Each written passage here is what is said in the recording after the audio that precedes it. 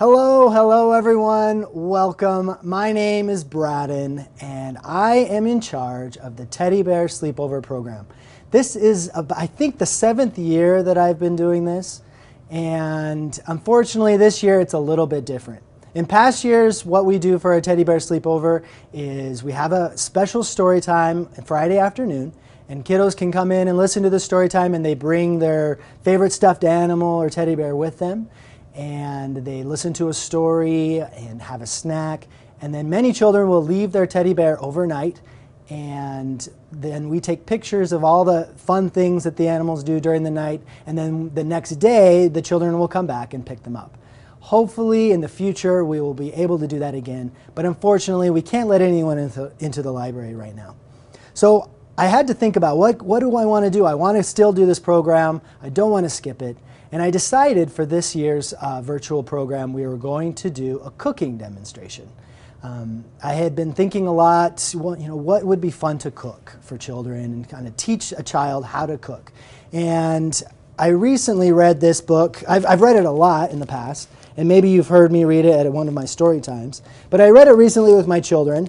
It's Goldilocks, and you're, you're going to hear from Katie. She's going to read this book to you in a little bit. But in the back of the book, the author has a recipe for Papa Bear's blueberry muffins. And so I thought it might be fun to give this a shot. I cooked this, um, I baked this, uh, these blueberry muffins with my children, and I decided we would try and do it for this year's Teddy Bear Sleepover. Um, so that's what we're going to make today. We're going to make blueberry muffins. Um, I do want to mention real quick about our little stuffed animal friends here. I do have a few of them. Uh, these belong to my children. Pikachu right here belongs to my son Julian, who's four years old now. I might have a funny story about that later on in the program. And then this little guy here belongs to my daughter. We've been way into watching The Mandalorian this year. And so I asked them if I could bring one of their favorite stuffed animals to the teddy bear sleepover, and those are the ones they let me bring. And this little guy here, I call him Designer. He's our uh, panda. He belongs to the library. So I invited him along as well. And yeah, I just wanted to have someone here with us, and I'll tuck them in later and put them to sleep, and they can spend the night in the library. All right, so let's get started. Um, first, you got to think about it. What's the most important thing to do before we start cooking? That's right, washing your hands. It's really important, even if you've washed your hands recently, before you touch any food, it's important that you wash your hands. So that's what I'm going to do. I'm going to come over here to the sink. All I have is a little uh, Palmolive dish soap, but that should work. Get it nice and soapy.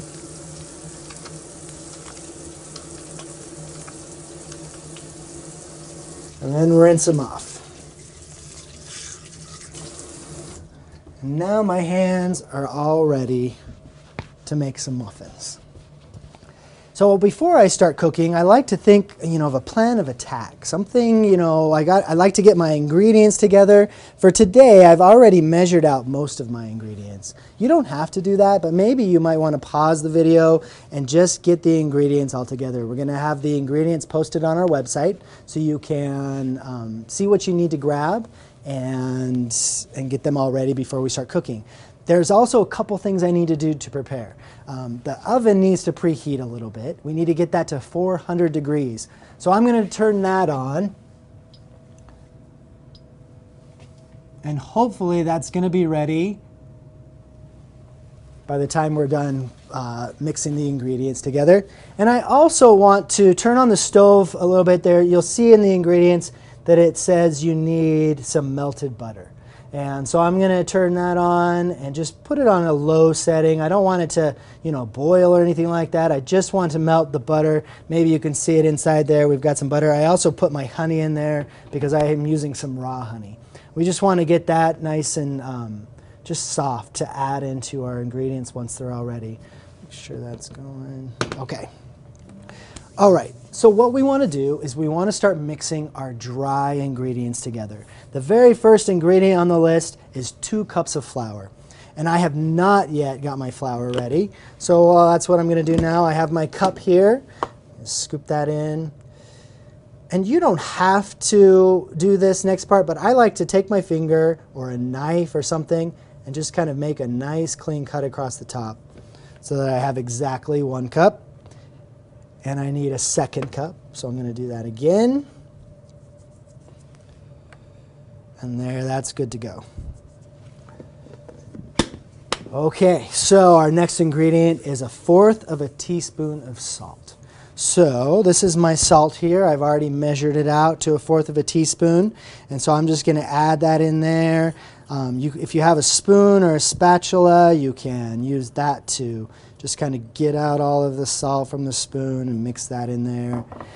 Next, I have three teaspoons of baking powder. So I've already got that measured out right here. We'll add that in. Half a teaspoon. Oh, I left a little bit in there. I want to make sure to get that all in there. And then I have half a teaspoon of cinnamon. And then last but definitely not least is the sugar. I need four tablespoons of sugar. And sometimes you'll notice in recipes, you'll see instead of teaspoon, you'll see shorthand, and then it'll say TISP or TSP. And then for tablespoon, so I have my little spoons here. You have your TISP here, your one teaspoon, and then you can see the tablespoon is quite a bit bigger. And you don't want to get confused about that. They look pretty similar, but the, the teaspoon is TSP and the tablespoon is TBSP or TBS. And so um, I have four tablespoons of the sugar. So I'm going to put that in there. Make sure to get all that sugar out. And then I'm going to take my spoon and I'm just going to mix it all together. And you don't have to mix it a lot, but you'll just want to make sure that there's no big lumps or anything. Everything's kind of just nicely all mixed. And that is going to be the first part of baking our blueberry muffins. I'm getting some out on the counter now. okay, so we've got that mixed together. Next, what we want to do is our wet ingredients, and we're going to mix them in their own bowl. And then once those are all mixed together, we're going to add them to the dry ingredients and mix them all together. And doing it like this helps it so that all the ingredients um, mix together well and you don't have lots of like lumps of cinnamon or lumps of baking powder or anything like that. Um, so first what we need is one cup of milk, and I've already got my cup of milk right here. Put that in there. And I should have turned this up higher because this is not going to be done in time. After that, okay, so then I also need a beaten egg. So uh, that's also something I haven't got prepared yet. I do have some eggs here. I brought some extras just in case I mess up. But I have a little container here and I am, I'm supposed to mix it all together, so I'm just going to crack it here. I, with my children, we do this a lot. We practice this a lot at home because they like to crack the eggs. And it's just nice just to do a little tap until you just have a little crack in the egg like that. You don't need nothing too big, um, but just something a little small that you can kind of start to grab with your thumbs. And sometimes if you hit it too hard, the shells will break apart and then you have a big mess. So just a little bit of a tap until you have a small crack in it. And then you just take your thumbs and you just gently pull the shells apart. And then the egg yolk drops out. And then you can throw your egg yolk away. I'm just to add it back in here and we'll toss it later. And then we want to get that mixed up real good. If you practice that a lot, eventually you can start to do it with one hand. Sometimes I can do it. I decided not to try it today. Um, but it is kind of fun to learn how to crack an egg with just one hand.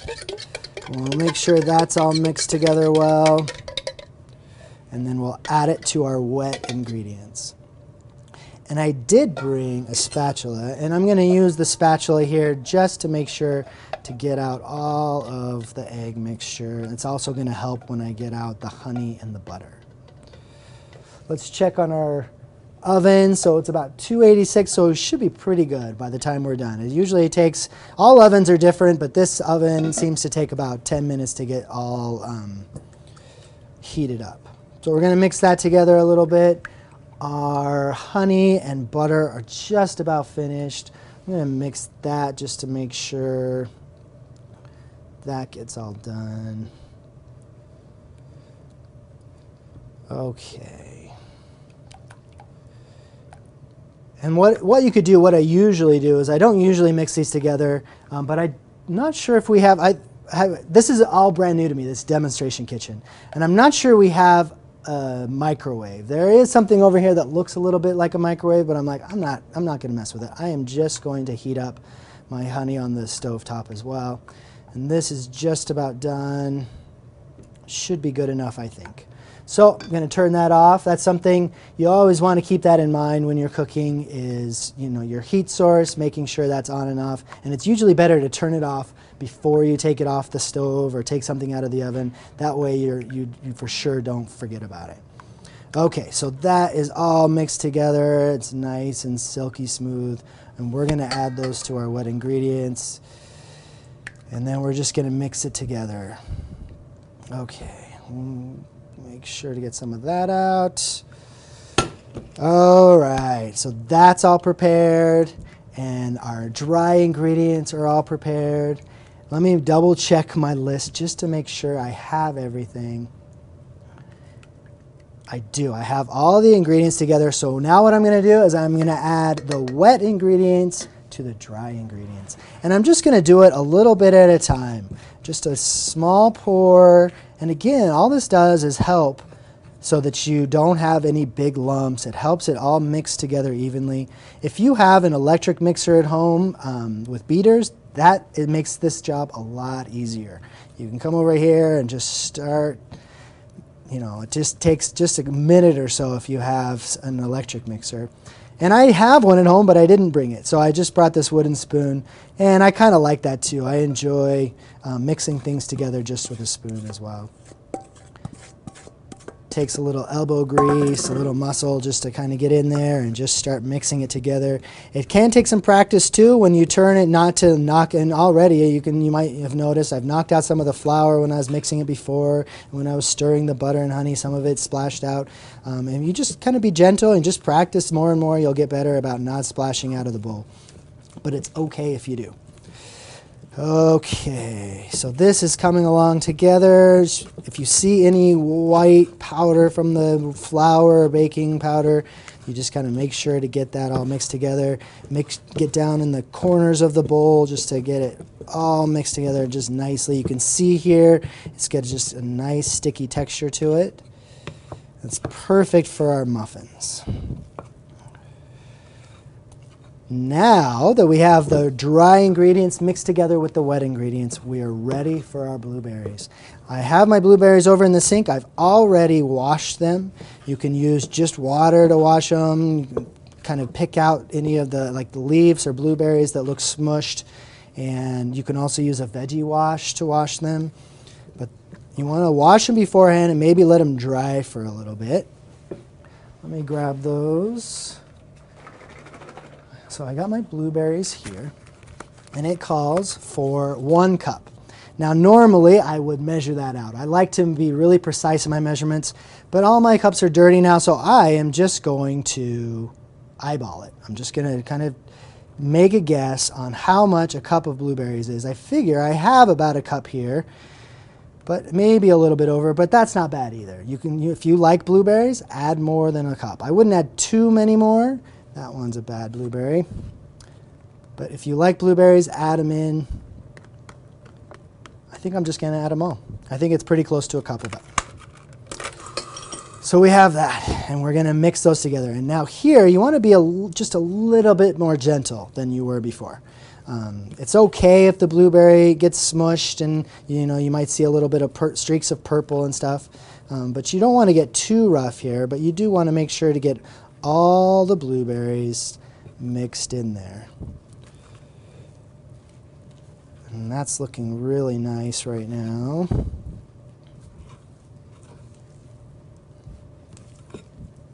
Okay. Oh, I can see a couple streaks of purple. Something, one of the blueberries broke, I think. Now you'll notice it's not very easy to stir. It's really sticky, takes a little muscle to move it around. Um, but just do the best you can do. Maybe you can get a uh, older brother or sister to help, or your mom or dad, and help them mix these blueberries together. But I think these this mixture and these blueberries are ready to go into the muffin uh, the muffin pan. So I have my muffin pan here. And I also have some canola spray. Some people have Pam, whatever you have works great. Um, you can also take a little olive oil and just put it on a paper towel and wipe it in there. But it's important that you grease up the pan a little bit. That way, the muffins don't stick once they're done cooking. So just little short bursts of canola spray just to make sure that the muffins don't stick. And now we are ready to add our mixture. So what I like to do is the recipe says to get about two thirds of a cup full. Now it depends on how big your muffin pan is, but mine isn't too big, and so it's a little bit hard to get it at two thirds full. So I just take a smallish spoonful. You can see already that first one, it's a little bit more than two thirds. Oh, I just heard the beep. That means our oven is preheated at 400 degrees. It's ready to go. I think I'm just going to have to start using my finger to get all of this sticky batter into the muffin tray. While I'm doing this, I'll tell you a story about that Pikachu there. Um, a couple years ago, so my son is four now. A couple years ago, he was two, and we went to Silverwood Theme Park and he was fascinated with the games they had there, like those carnival games where you throw darts and um, wiffle balls and things, trying to win a prize. And he didn't care so much about the prize; he just wanted to play one of the games. So I paid five dollars for him to play the little game where you have the little red plastic rings and you try and throw them on the Coke bottles. And if you get one on a Coke bottle, then you win a prize. And if I remember right, there were different, there were some Coke bottles that had a bigger prize. And anyway, he took, I think he had three rings, and his first toss, he didn't even get them on the Coke bottles. Like he didn't even reach it. It's just like what, maybe a foot into the gutter they had before the Coke bottles. And the same with the second one. And I was like, oh my gosh, he just we just spent $5 for him to throw these plastic rings into the gutter. But the third ring, he threw and it went right on the large prize winner Coke bottle. And he got to pick whatever uh, stuffed animal he wanted from the prizes, and that's the one he chose Pikachu. And I had to carry it around the rest of the day. But it was great. He was so excited, and we were excited too. It was just amazing. Just very kind of a just a very lucky trick shot. Um, okay, so I've got all of my muffin tin filled up. I'm just getting, I got a little more batter here. It's gonna make the muffin tops extra large. They may get um, pretty big, but I just wanna make sure I add all of this in here. Don't have any left over. Okay.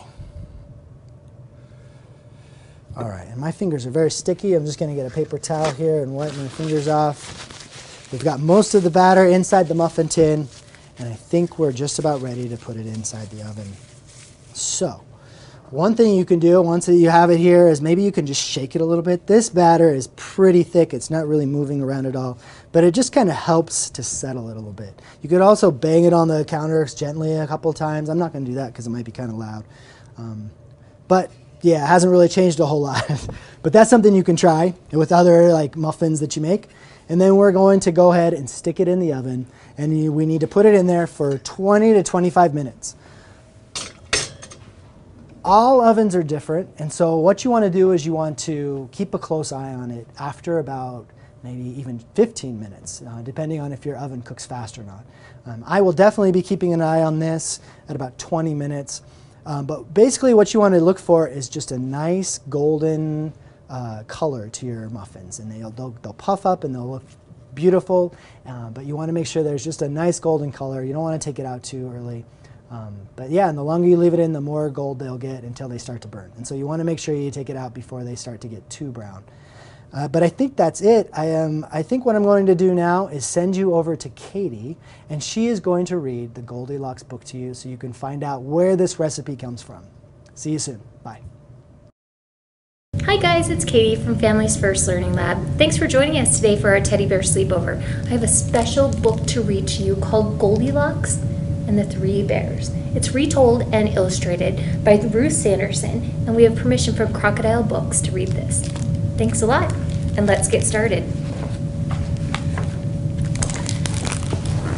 Once upon a time, there were three bears that lived in a little stone cottage deep in the woods a great big papa bear, a middle sized mama bear, and a wee little baby bear. Every morning, the bears took a walk while their porridge was cooling off. One day, the bears were still on their walk when a visitor arrived at their house. Her name was Goldilocks. Goldilocks loved to pick blueberries. That morning she wandered from bush to bush to bush, and before she knew it, she was standing in front of a cottage she had never seen before. She wondered who lived there and knocked on the door. When no one answered, Goldilocks forgot her manners and walked right in. Goldilocks smelled the bear the bear's porridge and rushed over to the table. She was very hungry. First, she tasted the porridge in the great big bowl, but it was too hot. Then she tasted the porridge in the middle sized bowl, but it was too cold. Finally, she tasted the porridge in the wee little bowl, was just right. Goldilocks ate it all up, every bite. Across the room, Goldilocks saw three chairs in front of a cozy fireplace. She tried to sit in the biggest chair, but it was too high. She tried to sit in the middle chair, but it was too wide. Finally, she sat in the wee little chair, and it was just right. But Goldilocks rocked so hard in the chair, she broke it to pieces.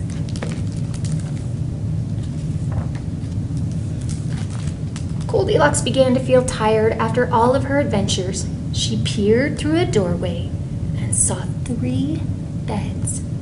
She climbed into the biggest bed, but it was too hard. She climbed into the middle bed, but it was too soft. Finally, she climbed into the wee little bed, and it was just right. Goldilocks pulled up the quilt to her chin and fell fast asleep.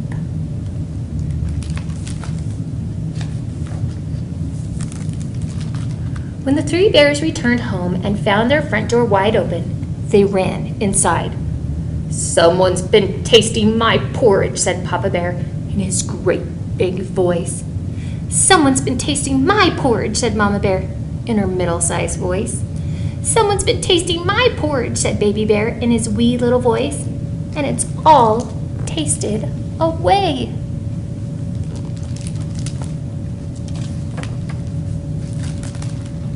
The three bears discovered a mess across the room. Someone's been sitting in my chair, said Papa Bear in his great big voice. Someone's been sitting in my chair, said Mama Bear in her middle sized voice. Someone's been sitting in my chair, said Baby Bear in his wee little voice. And it's broken all to pieces.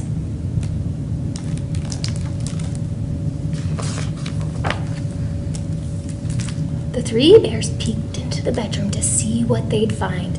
Someone's been sleeping in my bed, said Papa Bear with a great big growl. Someone's been sleeping in my bed, said Mama Bear with a medium sized growl. Someone's been sleeping in my bed, said Baby Bear with a wee little growl. And she's there. At the sound of Baby Bear's shrill voice, Goldilocks woke up with a start. She was so afraid she could not speak. Can I keep her? asked Baby Bear.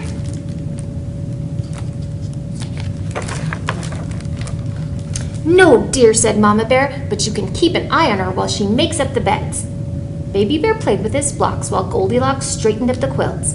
Then she followed Baby Bear to the other room where Mama Bear was leaving a new seat for his chair.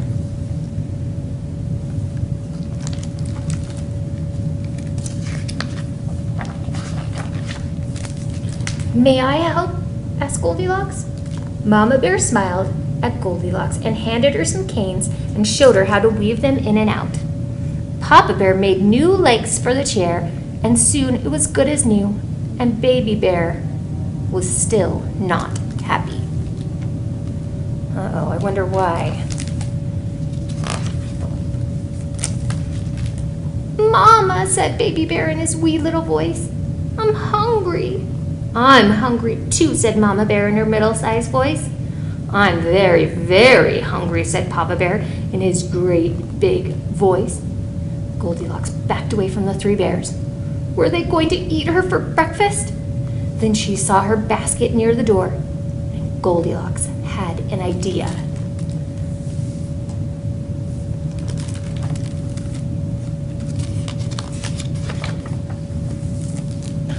Blueberries are very good for breakfast, said Goldilocks. Blueberries are tasty, said Baby Bear in his wee little voice. But I know something even tastier, said Mama Bear in her middle sized voice.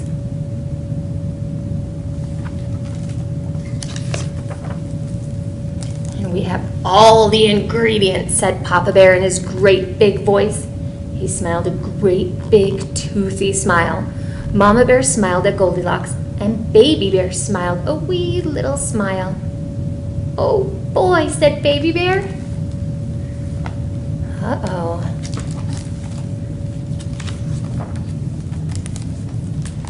Blueberry muffins, he cheered. Baby Bear brought out a jar of honey to the table. Papa Bear poured the blueberries into a big bowl, and Mama Bear took out flour, baking soda, salt, milk, butter, and eggs. Papa Bear stirred the ingredients together, spooned the batter into the muffin tin, and popped it into the oven. Mama Bear put the kettle on, and Goldilocks helped Baby Bear set the table. Sounds like something you guys are making.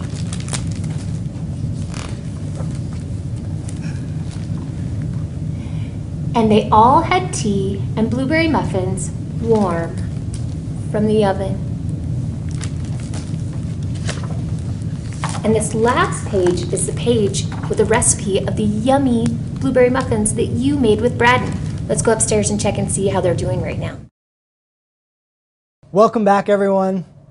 Uh, I hope you liked the story that Katie read and you found out why we have this recipe of blueberry muffins. My favorite illustration in that book is when all of the bears are looking at Goldilocks, and I think Papa Bear is drooling a little bit, and you're wondering like, oh my gosh, are they going to eat her? But no, they're going to have blueberry muffins. We also had some blueberry muffins. We took it out of the oven. We couldn't wait to eat it. So designer here couldn't finish his. Pikachu's already finished his, and he's zonked out for the night. And little Grogu here is trying to take my muffin, but it's time for him to go to bed as well. Hopefully you have one of your stuffed animal friends with you. Hopefully you uh, enjoyed the video and followed along and made your own muffins and that you have had a chance to taste them and they taste delicious. I'm sure they do. Um, hopefully next year, all of us will be back together again at the library and we can have one of our actual real live teddy bear sleepovers but until then, enjoy the video, enjoy cooking. Maybe we'll have to start cooking more in this demonstration kitchen. Let us know if you'd like to see more of these cooking videos. Bye, everyone. Don't touch that. Bye.